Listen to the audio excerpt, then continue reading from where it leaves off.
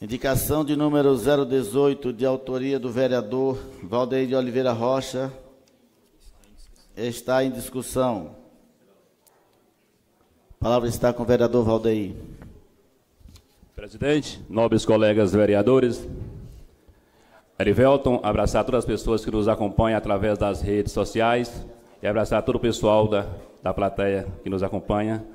Obrigado pela paciência né, de nos esperar. Deputada Ivana Basto, que honra, que orgulho ter a senhora mais uma vez no nosso município.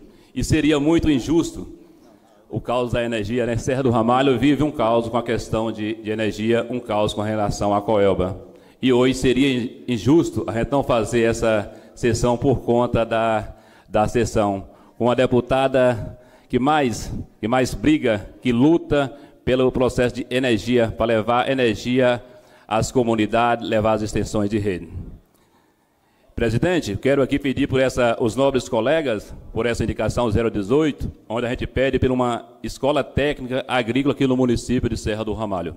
Serra do Ramalho é um município rico na área da agricultura, da pecuária, pecuária de corte, pecuária de leite, uma das melhores bacias leiteiras da região, forte na apicultura, na piscicultura e agora se destacando também na avicultura. Então, uma escola técnica agrícola nesse município, além de capacitar, além de abrir a oportunidade para os nossos jovens no mercado de trabalho, ia também ajudar na produção e produtividade agrícola do nosso município. Então, conto com o apoio dos nobres colegas nessa indicação e conto com o apoio do prefeito e também hoje com a ajuda da nossa deputada para que possamos instalar uma escola técnica agrícola no município de Serra do Ramalho.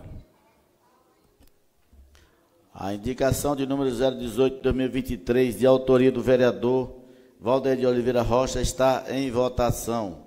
Os vereadores que estiverem a favor permaneçam sentados, que estiverem em conta se manifestem. A indicação está aprovada.